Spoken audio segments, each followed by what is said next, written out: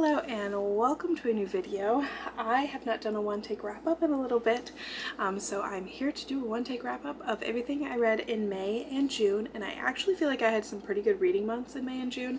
Um, I just didn't have time to film wrap ups because I was either traveling or working or I was sick, so had a busy time, but I'm here to wrap up everything um, and catch up on all of that. So let's get into it because I've got quite a few to get through. So I left off um, in May. I read a Spider-Man comic. I read Miles Morales Spider-Man Trial by Spider by Cody Ziglar. This was a lot of fun. I gave it a 5 out of 5 stars.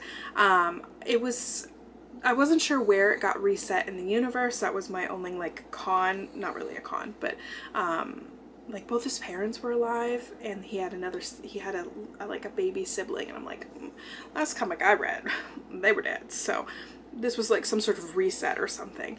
Um but great emotional journey for miles. He really went through a lot. I loved it. Um Next, I read A Lady's Guide to Mischief and Mayhem by Amanda Collins. I've talked about Amanda, Amanda Collins quite a few times before. I adore her. She's one of my favorite historical romance authors. She writes incredible blue stocking um, characters, female characters, and they're just so fun to read. Um, my prose, brilliant characters, amazing chemistry, blue stocking heroine. Um, like such a fun like crime solving plot that was just so fun to read. Um, a hint of spice but nothing too crazy. My con was that it was like a really slow beginning but then it made it up for it by the end. So five out of five stars. Let's see. The good guides girls wait the good girls guide to rakes. I think i mixed whatever. But Eva Leigh um, I read this one. It was a lot of fun. Um, prose were lessons. Um, like he was giving her lessons on how to seduce a man. I always love that. I think it's a fun trope, especially in historical. Um, she fell first, but he fell harder. Loved that. And then they talked a lot about like women's freedom to do what they want, to work, all of that in this book. And I really, really liked that. Um, not many cons, but the plot was a little bit slow sometimes. But I loved the um, the heroine had this like really interesting hobby. She loved to cook and like was really really good at it, like high profile, like fancy restaurant cooking. Um, and I just thought that was really fun. So I enjoyed that a lot. Um, and I gave that a 5 out of 5 stars. Next, I read Out on a Limb by Hannah Bonam-Young. This is probably going to be one of the top books in the year for me. I really, really enjoyed this one. I gave it a 5 out of 5 stars. Prose, one of the best books I've read this year. Great characters, great communication. It is a surprise pregnancy, which we all know is one of my favorite tropes. I had a lot of fun with it. Um, they have a really um, incredibly written like physical disability rep for both of them. She was born with um, a deformity in her hand and then he lost his he had an amputation of his leg um, due to cancer. So some um, trigger warnings for that kind of stuff but it was so incredibly well written. I loved the conversations around it how it influenced their um, like fears and excitement and like all their emotions going into like parenthood. Really really loved it. The only thing and I've said this with many other um, pregnancy trope books before is it didn't go all the way through the pregnancy. Like it gets to a certain point and then the book ends and it jumps to the epilogue and like they have five kids or whatever. I'm like I just I want to see all of it. I want to go through the whole story and they always skip the end like the pregnancy and the birth and everything. But still a very very very good book Next, I read When No One Is Watching by Alyssa Cole. Um, I I need to stop. I don't think I even rated this. I, I didn't. I need to stop reading thrillers thinking I'm going to like thrillers. I, I'm not going to like it. I'm not going to like thrillers. I don't, I've never read one that I liked. Actually, that's a lie. The one by Ashley Flowers I liked. Um, every single other thriller I've ever tried, I have not liked. I need to stop. Um, this is it. This is my last one. I'm not doing it again. I just wrote that. Um, I'm not rating this book because I don't think it was for me and that like I shouldn't have even tried. I should not have read it.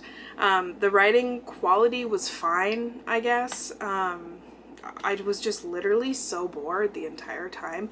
And at like page 100, I was like, should I DNF this? But I had chosen, I had chosen it. Why did I do that? For my book club, my in-person book club. And I was like, I need to just commit. I need to read. Um, and I should have DNF'd it. Um, it was so boring. So yeah, I, I don't, I couldn't even tell you what it was about. It was dumb. I was bored, whatever. Next, I read a Carnage comic, Carnage Reigns by Alex pa Paknadel. Um, I didn't write a review for this. Weird. Um, but I gave it five stars. It was fun. Carnage is scary. This was my first Carnage comic, but it was um, overlapping with Miles, so in that series, so that's why I read it. Um, he's spooky. That, Cletus, he's he's a crazy guy. He's he's a spooky guy. He's scary. Um, but yeah, loved it. Had fun. Um, next, I'm just getting through these. I read Book Lovers by Emily Henry. This was a fun one. I think if we're comparing Emily Henry's for me so far, I liked Beach Read better, but Book Lovers was good. Um, my pros, lovable characters, really, really loved the small town setting. Um, great banter and chemistry between the main characters. It was like a loose enemies to lover, but um, they weren't really enemies.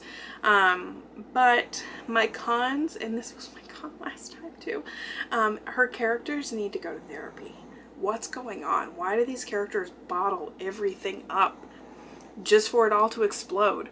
Like, do why, why don't they have therapists? That like it's it seems like a pretty simple solution. Like this she should have identified a lot earlier on like hey i'm unhappy.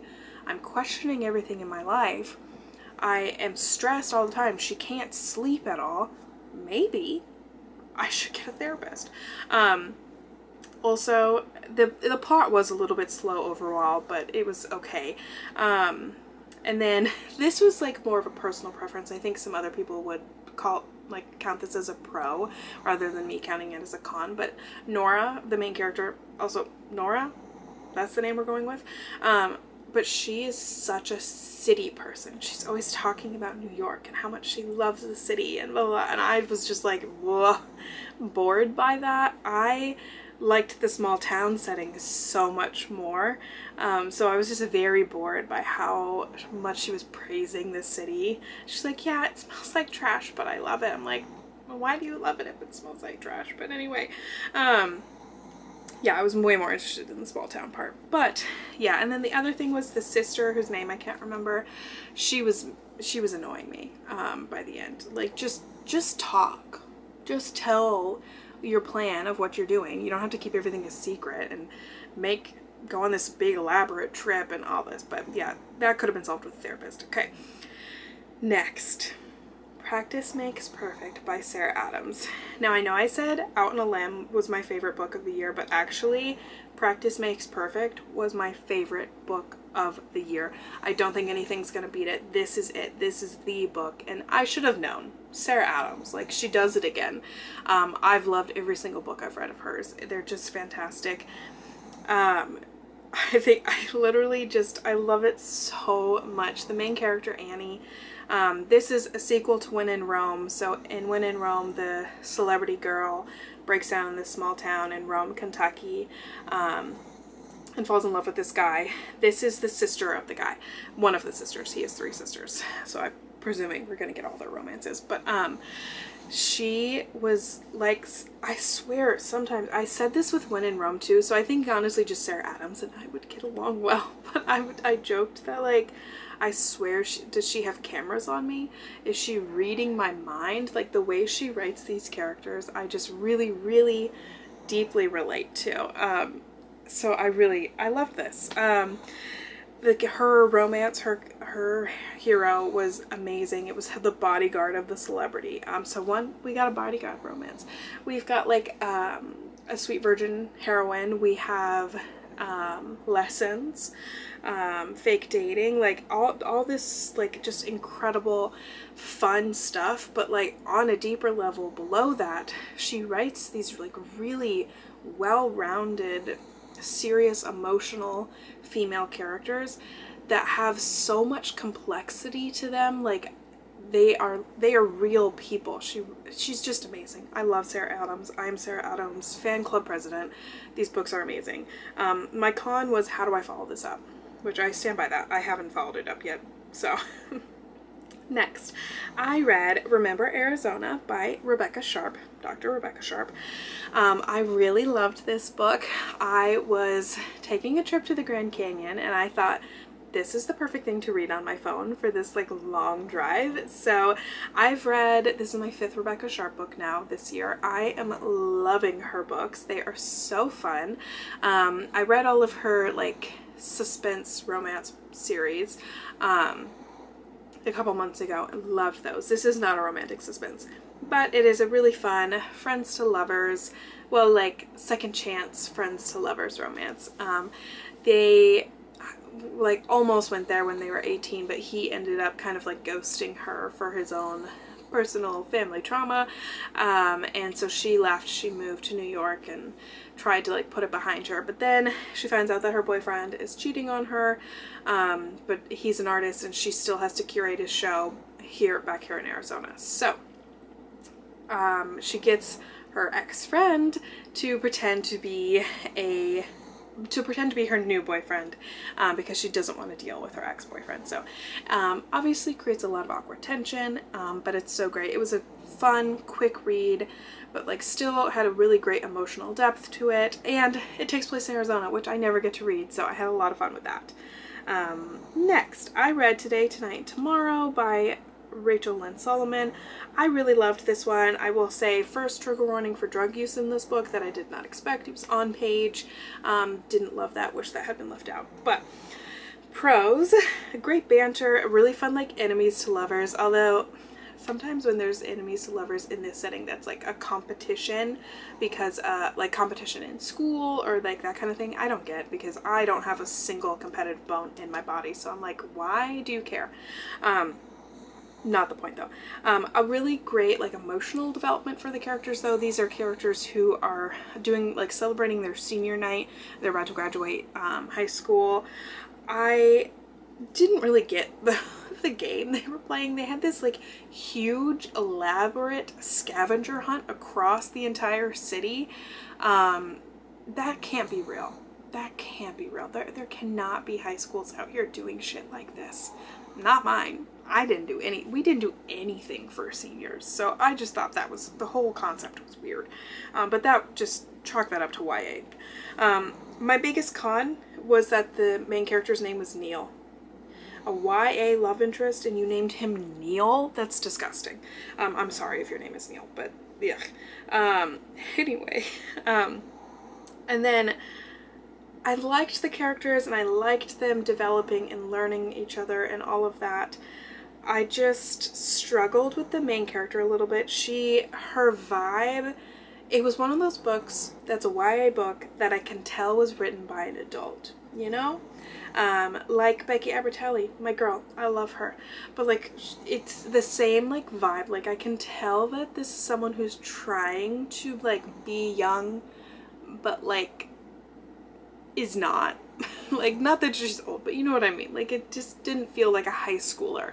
Um, the main character she dressed questionably. I it and at first when I was reading I'm like oh this book must be from like 2016 no this book was from like 2020 or 2021 um, and she was wearing 2016 outfits. They were horrible. I don't even want to affront your memory with them. Um, and then like her music taste and like her book taste and her whole vibe i'm like i'm sorry. The like manic pixie dream girl we need to put it to rest. It is the worst trope out there. Just let it go. And she was just a little bit much on that front. But i still really really enjoy the characters and i do plan on reading the sequel. So i give it a five stars still. 4.5 um next. I read the lady gets lucky by joanna shupe I love, you know what? I think earlier I called my book Seduction Lessons. This was the Seduction Lessons. The Eva Leigh book, I don't think that was Seduction Lessons. I actually don't remember what that book was about. Um, I'm complete. I think I got it confused with this one. And I went on about the cooking. That happened in this book. I don't know what that Eva Leigh book was about. I think that was still the seduction stories. It was the one where she dressed up. Like she put a wig on and dressed up. There just was no cooking. The cookies the cooking is in this one. I don't remember what that girl was into. I don't know. Anyway, um, I'm not very good at giving reviews, obviously. Anyway, pros for The Lady Gets Lucky. Um, the main character, Kit, love him. Love him. He's fantastic. Also, love the name Kit. That's unrelated. Um, this is another She Fell First, He Fell Harder. Seduction lessons are in this one. I don't know what was in the other one. Maybe it was also lessons. Who knows? Um, this one has a really great sense of humor. Joanna Shupe always has a really great sense of humor. Um, and then my con is going to have to break my book buying ban to buy the next one um, because I need to read the Duke story as soon as possible. Um, so the thing about this series so far, I still haven't bought this book, so actually I didn't buy my book. I did not break my book buying ban, but I will be going to the bookstore today, so we'll see. Um, my in these first two books in this series, so in the first one, she is like kind kind of engaged or engaged to the Duke and then she breaks it off because she has to marry her friend because they're caught in a compromising position.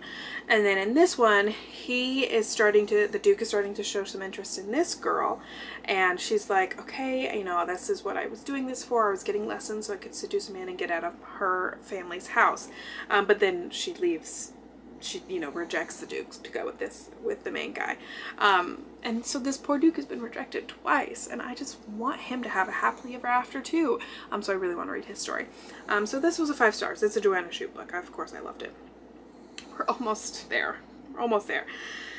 Okay, The Irish Fall by Brooke Gilbert. This was a book I read um, in exchange for review.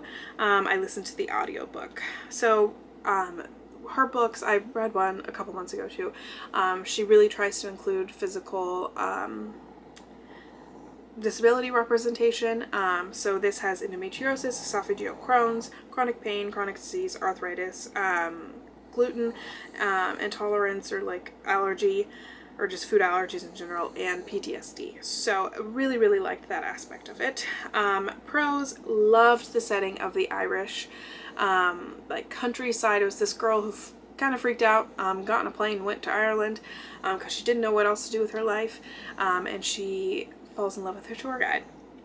So the other pros, it's a really sweet romance. It's friends to lovers. It's not, um, it's closed door. Like it's very sweet.